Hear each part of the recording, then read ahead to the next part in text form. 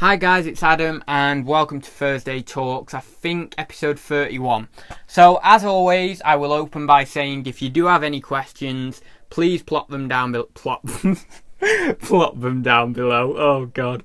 Um, please put them down below. That just sounds wrong. Plop. Anyway, um, so see the laughs are already coming. Anyway, so um, we have some great questions today, um, and I think I'll just go ahead straight into it. Um, so Peter asks, "What's your biggest oh bugger moment?" And what he means by that is basically his example he used was he put his thumb through the back of a 1972 Cluedo board game, uh, and obviously whip the whip the back of it or something like that, or pierce the back of it. Um, yeah, I, I don't know whether it's that I'm a careful person because I don't really feel like much of a careful person, but um, I've just not really broken anything. I mean, I've dropped things loads of times. Don't get me wrong, I have dropped loads of things, books, board games, even the odd mug. But for some reason or another, I've not really had any breakages. Um, oh, actually, no, I tell a lie. There was one breakage the other week. Uh, I don't know whether I've got it round here. Well, I've got. A, oh, actually, is it that one? Oh, I don't know. Um, I'll just get this in a, as an example. I, I, it wasn't this one I broke because this one's fine this case. But um, I dropped a Tony Hawk skating PS1 game, um, and it the case, to be honest, was like shot anyway, really. Um, and I dropped it on the on a hard floor, and that like sort of broke it completely, basically. Um, so yeah, that's the only one really I can think of in a year. My mum did break a couple of mugs uh, about six months ago. Actually, it was when we were moving into here. So obviously, you can imagine we were moving a lot of stuff from that room to this room. So you're going to incur the odd thing that might nearly break or might actually break in that case. Um, but they were only those Cadbury ones, and I picked them up for like 10p. You know those little Cadbury Easter egg ones you get with Easter eggs. Um, so yeah, I mean it wasn't too bad. Um, but that's yeah, that's all I can say really. I don't think there's been anything else surprisingly.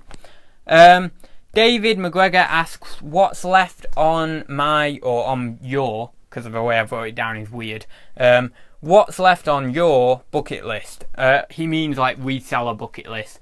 Um, uh, I don't know. A lot of the vintage board games, Denys Fisher ones. Um, you know the story, same old stuff I always talk about.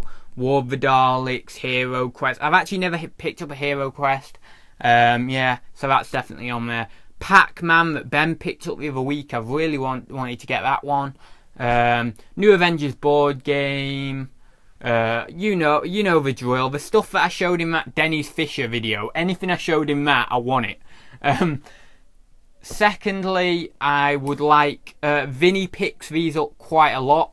The Woody and the Jess is it Jessie the cowgirl? Um, those toys. I don't know who makes them. I forgot. Um, but I'd really like to pick those up. Um, they're really cool. Um, I, I, I could imagine I would really like to keep one of those for myself if I bought it though. Um, but yeah, they are cool. So I'd like them. Also, a bit of a weird one. Um, but it, I suppose it suits my personality, so it's not that weird. Um, but taxidermy, I would love to pick up some taxidermy. I am currently scouring through the auction room, seeing if I can get a cheap piece and flip it for okay money. Because um, even if I could only flip it for maybe like 10, 20 quid net profit, I'd be happy with that. Because I just want to buy it, you know, to to buy it to sell it. Um, and it sounds a bit weird to buy something just to sell it, but I'm sure you know what I mean, just because of the pleasure of getting the item. Sometimes your your heart rules your head, and you you'll pay up for something just because you you you want it. You you may have an emotional connection with the item, or you know it might hold sentimental value or whatever. Um, but yeah, I would love to get some taxidermy just to say I bought and sold it, basically. Um, yeah, other ones, other ones. I, I, to be honest, I, there's probably loads, but I can't think at the moment. It's always when I actually come to do the video that I can't remember. You know, the like I've been I always think of the Thursday talk questions. I think about them all week leading up to it, and uh, you know every now and then when I get a spare minute, I have a think of, of what how I'll answer them. But this isn't scripted or anything like that, so you know it, it's I forget a lot of the times what my answers are and stuff. But yeah, there's probably loads more, but there, there is absolutely loads I want to pick up really. Um, but that was a good question, really, really good that one. And then Caroline from the Celtic Traders, hi Caroline, um, asks um, two questions actually. What have I uh, had hanging around the longest? It was actually, I don't know what my current thing hanging around the longest is, but um, a board game Alpha Animals. It's uh, like a yellow uh, box with some sort of like pattern around it as well. Um, and it's a weird board game. I didn't really get out how people are meant to play it and stuff. I checked it, but you know, I didn't really look into how you play it and stuff. Um, and it was on there for like eight. No, I think it was like ten ninety nine or something, eleven ninety nine. Because I paid like two or three quid for it, so it must have been.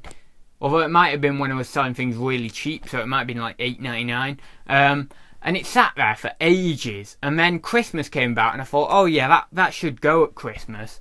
Um, you know, I, it was my first Christmas, and I was thinking, oh, everyone says everything, you know, loads of things go, so it'll go, but it didn't, um, which was unfortunate. And then it sat around to, I think it was February it went, but I had it since I started, so it was seven or eight months, and um, I ended up selling it for six ninety nine with free shipping and I bought it for, as I say, two or three quid. So I probably made a loss or um, maybe a very, very, very small profit. Um, but that has to be the one that hung, hung around the longest. It just wouldn't go. I actually got questions on it as well, and people still didn't buy it, and it was frustrating me. Um, but then it finally did go. So, I mean, that was actually when I actually sold that product, that board game, was the moment I. Everyone kept saying, um, everything sells in the end. And when I didn't believe that, but when that board game went after eight months, after reducing the price, after having questions, after having watchers, all that sort of stuff, I knew that yes, everything does sell in the end. Um, so it was a real like it was an eye opener that was. Um, but yeah, that was a good question. And she also asks, um, where do I see myself as a seller in five years?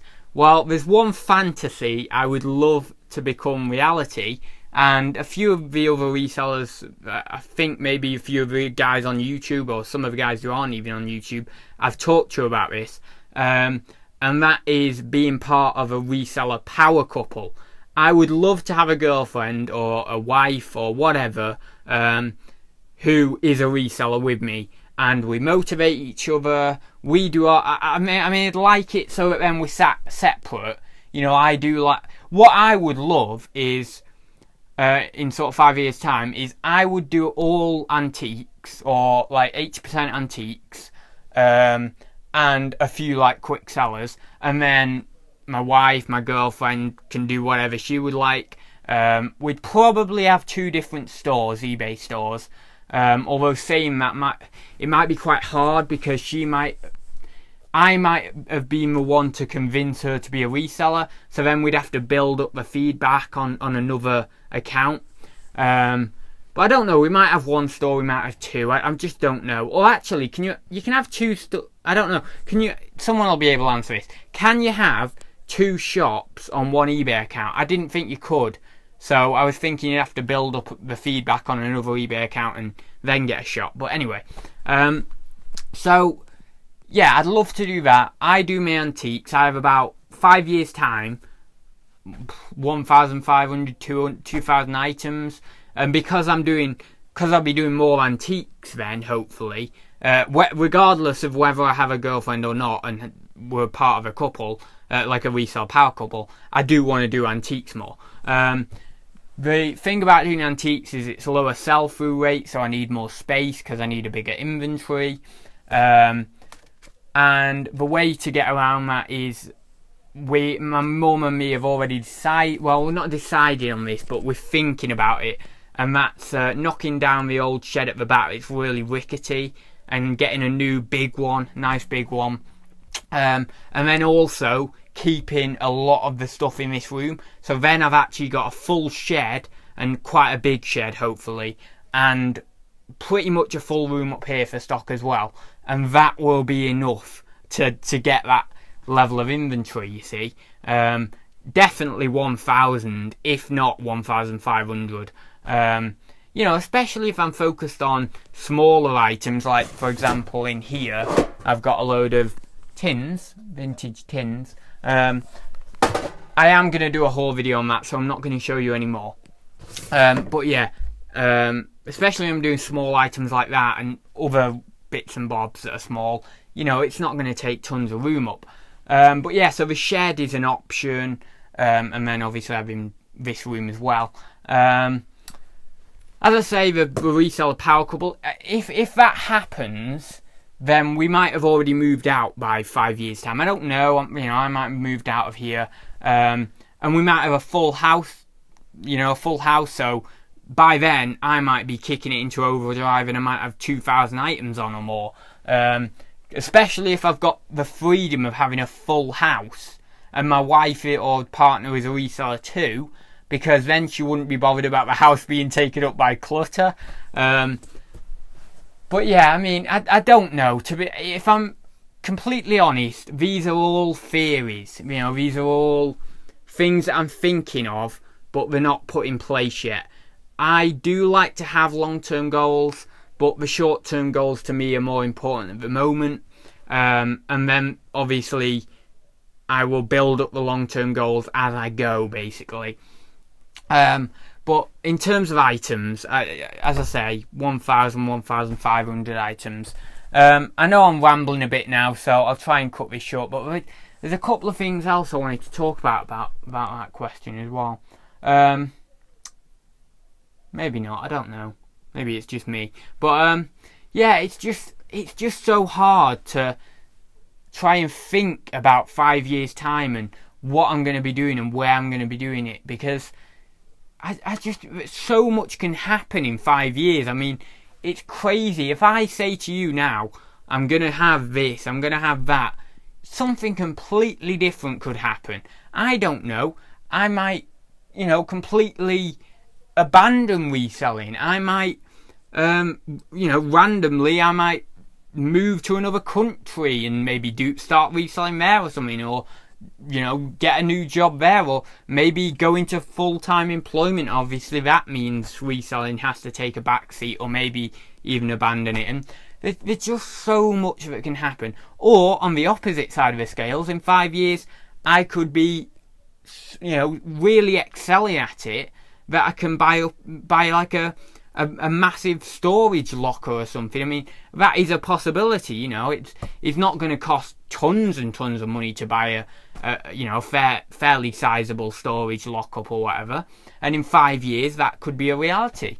And therefore, I could actually, you know, go down to the storage lockup, work there, have loads and loads of stock there, fill it up to my heart's content, and then I can come back after the day's done, work 9 till 5 or 10 till 6 or whatever, you know, whatever hours I want really, provided they're in the hours of where when I can go to that place and if it's open and all that. But um, and then come back here uh, when the day's done because I, I know that my mum and dad would love that because there's no stock in the house then. So there's so much potential. I cannot say one way or the other something is going to happen. It happens like it happens. The the greatest quote I have ever. I I, I mean I've just I, I've read a lot of quotes and this one is really good. The best laid plans of mice and men. John Steinbeck. That's the best quote ever. You can plan and plan and plan, but most of the time, something is going to go slightly differently, if not entirely differently, to your plan. Um, I don't know whether that's a full quote. I'm, I'm thinking it was meant to be something before that. Best laid plan. I'm thinking there is something before that, but I don't know. Someone can tell me down in the comments. Um, but yeah, so that's that one done. Thursday Talks episode 31. Crazy. Uh, I'm going to be on 50 soon, which is just remarkable. Um, anyway, guys, hope you enjoyed that. Sorry about the rambling, But it was a subject that that last question is a subject I've been thinking about. I'm always thinking about it, the future of my business. So, you know, I do tend to ramble when I'm on that subject. Um, but yeah, so anyway, guys, hope you enjoyed it, and I will leave it there. So, thanks for watching, guys, and I will see you in the next one. Bye for now.